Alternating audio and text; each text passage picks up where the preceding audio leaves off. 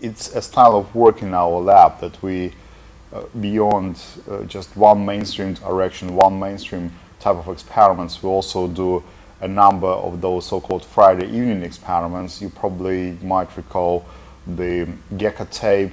The uh, Andre Geim is quite well known for his frog levitation, and graphene came out as one of those Friday evening experiments as well.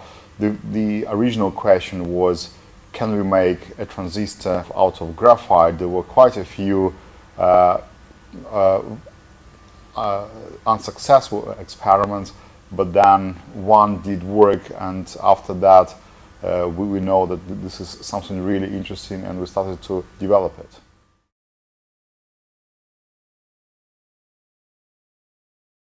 Uh, well, yes, uh, that's uh, exactly what what we did use. I said that there are there were quite a few other attempts which which didn't work, and for instance, um, uh, Andre Geim asked one of his PhD students to uh, polish a very expensive piece of graphite into very thin platelets, and this Chinese guy he took this expensive piece walk away. One week after, he comes back with a pile of uh, dust, asking, "Do you have more graphite?" So at that at that time, we thought that probably that's the time to uh, drop it off completely. And then a few weeks after, I saw how another colleague of ours uh, is cleaning his graphite to to study the, the, the surface in STM experiments, and then I immediately thought that yes, that that that must be it. Uh, I, I, simply picked up this uh, piece of scotch tape from the from the dustbin and made made uh, a first transistor out of it, and th that very first sample did work immediately. And I, and I should say, although there are quite a few number of methods which are which exist now to make mass production of, of, of graphene, the scotch tape method is still being used quite widely in many labs uh, across the world.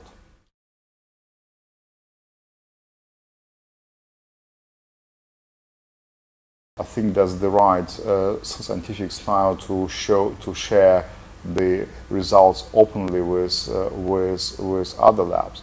But there is also a bit of pragmatic thing here because it was quite clear from the very beginning that graphene is a bit more than simple uh, nice new material which you might want to study for, a few months. It was quite clear that this this material is really something new and it's uh, it, it will be here for a very long time. And it's uh, you can see it now that even after what, seven eight years of studying it, we still don't know uh, to, we, we, there are still quite a few questions left, although it's it's been attacked from the from many different perspectives. So uh, so sharing it uh, with with other people was exactly the right strategy because we learn a lot from that from this collaboration, and uh, I think it was the right move from the very beginning. There are a number of properties which are special. Uh, of course, uh, for me, the electronic properties are the most interesting because electrons behave as massless relativistic particles, and we never had this concept before. It's like uh, CERN on, on, on your desk. You can, uh, uh, you can study quasi-relativistic phenomena in your samples, and we never had this in our, in our possession. Then of course mechanical properties is the strongest material on Earth, so it's, uh, it's, it's very appealing immediately. But probably most important is that uh, it, this is the, the material, one material which combines all those properties in one. It conducts electricity better than copper, it's stronger than diamond, it's more transparent than many other materials, more impermeable to any gases than any, any other membrane. So in, in one material we have all those, all those superlatives and we never had it in any other material before.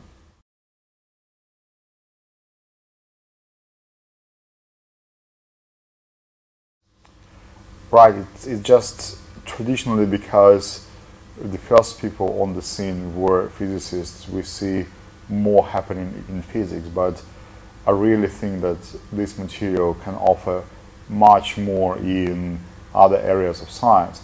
Chemistry is really rich place where we can see a lot of things happening with, with graphene in the future. Uh, if you think about it, it's just surface without bulk. So anything you do on the surface, you do for the wall crystal. Already now we have a couple of examples of chemically modified graphene. We have we can put hydrogen on top of graphane, and it would make uh, graphene, or we can put fluorine and we can make fluorographene if you want two-dimensional Teflon. And the opportunities here are practically endless because you can put other species on, on, on top of this material and you can, you can change the mechanical, the chemical, the electronic, the optical uh, properties of the resulting two-dimensional crystal. Um, biology is another area where we can expect uh, lots of things happening obviously already now we see things developing uh, in terms of drug delivery, stem cell research, and so on, but it's really an unexplored area.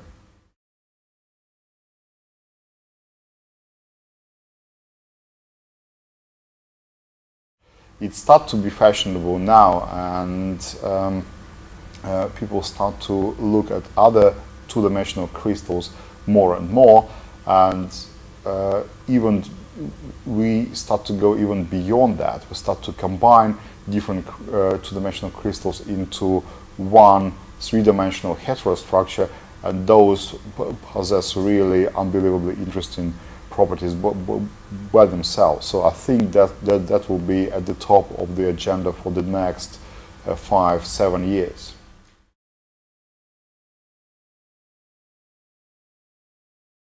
Yeah, that's a very interesting concept, and uh, I think 90% of the efforts in this lab are now oriented on those.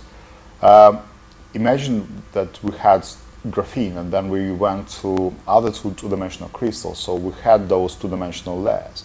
But now, in principle, it is in our power to put one on top of another.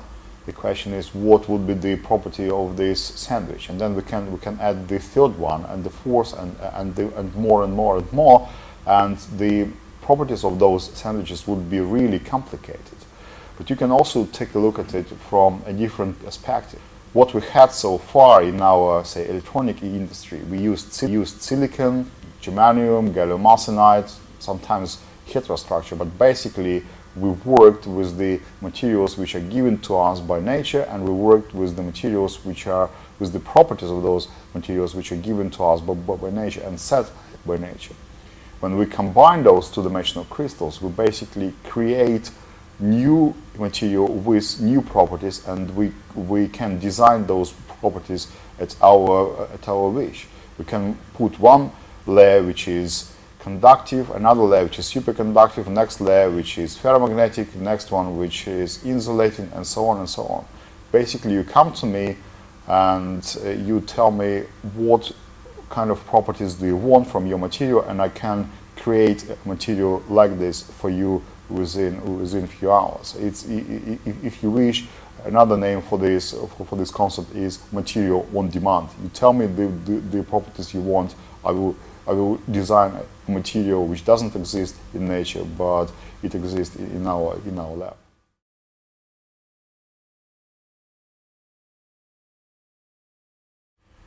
That would be tough, but it, it would also very interesting. And if you think about, say, graphene, uh, even three years ago, if you would ask me, would it be used for any applications, I would be more skeptical and would say that, well, probably we need to wait for another 10 years.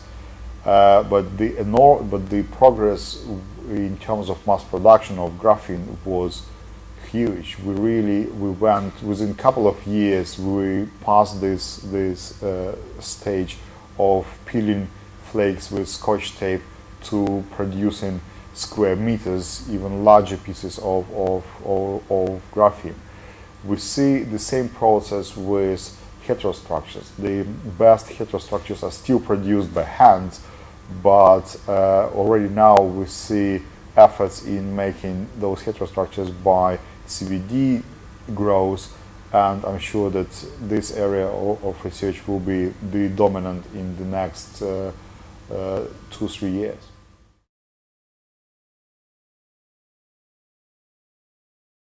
I think we are only in the beginning of the of the process. Physics is more or less being researched, but we also were only uh, we're only starting.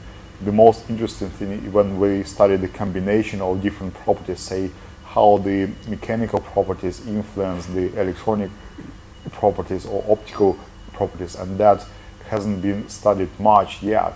And in terms of chemistry and uh, optics and uh, and other properties of, of these materials, we just we haven't even touched that.